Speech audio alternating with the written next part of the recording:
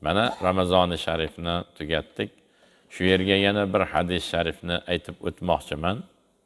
Janob payg'ambarimiz sollallohu alayhi vasallam ramazoni sharifni ro'zasini tutgan odam shavvol oyidan e, olti kun tutib qo'ysa qo'shib bir yil to'liq ro'za tutganni savobini oladi deganlar.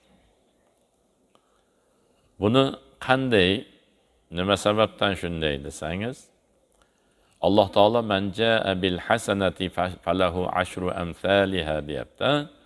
Kim bitta yaxshilikni qilsa unga o'n barobar ajr beriladi deyapti. O'n barobar demak siz bilan biz o'ttiz kun ro'zani tutdik. O'nga ko'paytirsak uch yuz bo'ladi. Endi yana olti kun tutib qo'ysak uni o'nga ko'paytirsak oltmish bo'ladi. Ana bir yil uch yuz oltmish kunmi? uch yuz oltmish kunga ham bormaydi a? Qamariy yillar uch yuz oltmish kunga ham bormaydi. uch yuz ellik besh kun bo'ladi. Ana demak bir yil ro'za tutganni savobini olamiz ekan. Bir yil ro'za tutgandek bo'lamiz ekan. Shuning uchun shu shavvol oyi deb mana shu hayit oyini aytiladi. Shu oyda yana olti kun ro'za tutib qo'ysak yaxshi ekan. O'zimizning foydamiz.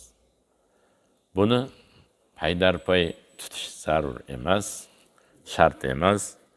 Hayitni o'tkazib boshlash ham shart emas. Shu hayit kuni tutish mumkin emas. Ro'za hayitda bir kun shu kun. Mumkin emas qolgan kunlarida shu bir oyning ichida ho bir kun tutib bir kun tutmaysizmi? Yo bir kun tutib ikki kun tutmaysizmi? Ana shuni shu olti kun tutib qo'ysangiz ana shuncha ajrga ega bo'linar ekan. Alloh hammalarimizni ham mana shu qilayotgan amallarimizni xolis o'zi uchun bo'lishligini o'zi oson qilsin.